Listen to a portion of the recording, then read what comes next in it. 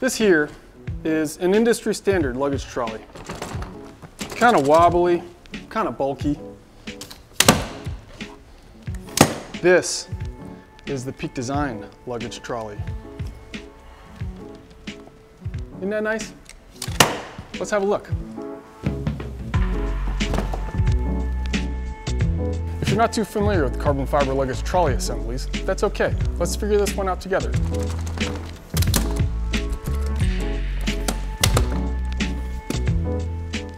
Robb Jay. I'm a mechanical designer here at Peak Design, and I've spent the last four years working on this here roller luggage and carbon trolley. If you have a look inside the bag, you can see that you can see the trolley tubes, but they're incredibly flat compared to other luggages, and that's going to intrude on your packing much less than other bags. The goal was no tubes showing inside the bag. A slightly impossible goal, but we did everything we could to minimize the stack of the trolley into the bag.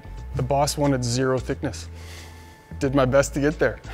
One of the major benefits of our trolley is the low profile nature. And so we have an outer tube that is aluminum that houses the whole assembly mechanism. And then importantly, the inside tube here is carbon fiber. And you can see it's extremely thin and we couldn't do that with aluminum because it's just not strong enough. With carbon fiber, we can orient the strength in the direction that we need, which would be in the bending direction here. And we can make an incredibly thin tube. Beyond the thinness of the trolley, there were a couple other feature improvements that we were looking to make over a traditional trolley. And one of those is the tightness of the trolley. How does it feel when you grab that thing and you drive your bag around the airport? Is it responsive? And as I think you've seen, many trolleys are quite wobbly and just sloppy up at this top position. And so a couple of things that we did to basically make that much better is one, you can see we only have one tube section. It's this one single long trolley tube. So there's only one joint here. And so that minimizes the slop already. And on top of that, difficult to see, but this carbon fiber tube is ever so slightly tapered from top to bottom.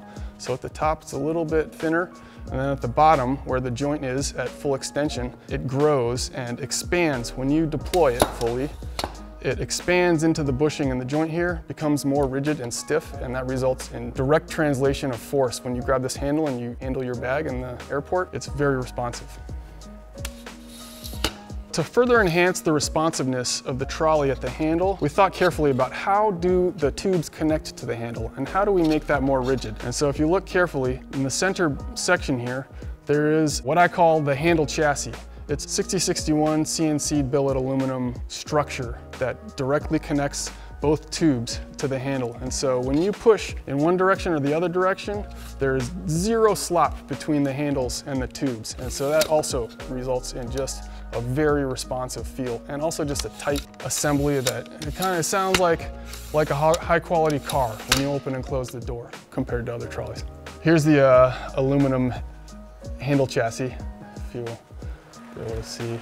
Most subcomponents of any trolley in another bag is almost always plastic and is intentionally made to assemble loosely to absorb the assembly tolerances and like the potential problems that you could have with function. And so that's why most trolleys, when you feel them, this is like slop, slop, slop in every direction. And so you gotta rotate your hand 20 degrees before you engage the bag to actually maneuver it. And so that's what is uh, so strikingly different feeling when you grab the handle of our bag and you maneuver that thing. It's like a little go-kart zipping through the airport. It's like a race car part.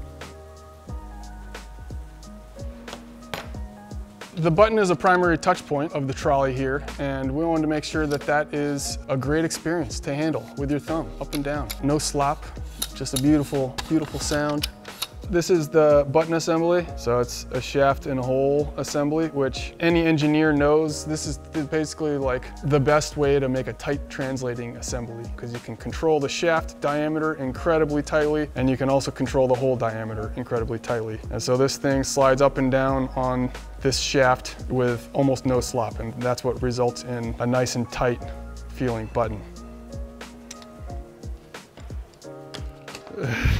yeah, I still don't understand a driftwood. I need to talk to Fed about this. We just catted up the handle and he was like, ah, make it smoother here and like curvature continuity, blah, blah, blah. And I was like, all right. Somebody say driftwood? Hey, Robb, I can talk about that. What's up, everybody? All right, I'm sure you guys heard about all the engineering challenges that were overcome with this product, but I want to talk about the physical design and the industrial design involved with this one.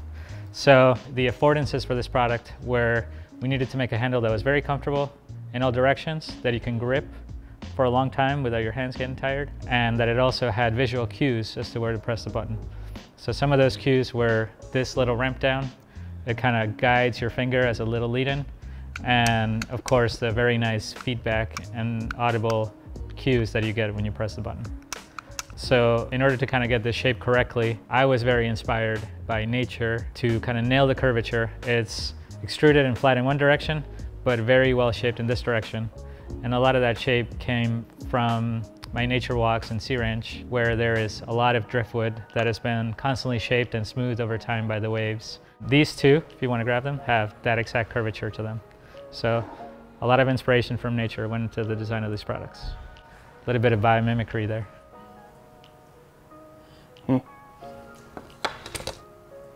It was a lot of work.